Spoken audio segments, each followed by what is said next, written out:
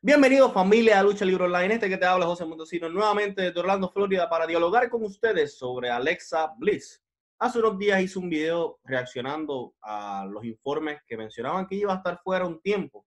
No se sabía si eran unas vacaciones, no se sabía cuál era la razón. Pues PW Insider acaba de reportar que va a estar fuera debido a una operación, una cirugía. Se va a estar haciendo una cirugía llamada sinus surgery en esta parte de la nariz.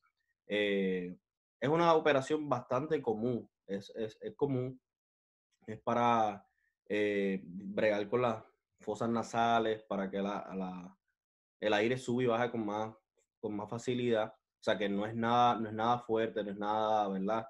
Que vaya a tomar una cantidad de tiempo exorbitante fuera del ring. No sabemos, no obstante, no sabemos cuánto tiempo vaya a ser. Es obvio que no va a estar en las festividades del draft aunque la probabilidad de que sea drafteada de una marca a otra es bastante alta. Pero, como mencioné, no es nada fuerte, no es una operación larga, tampoco está de vacaciones, aunque desconocemos cuánto tiempo va a estar fuera después de la operación.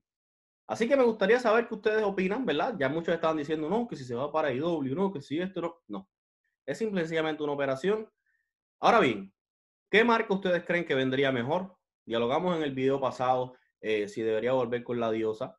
Para el que no lo ha visto, sí, yo pienso que debería volver con la diosa como un personaje nuevo, pero siendo Alexa Bliss la, la, la, esta, esta belleza que ella siempre ha sido.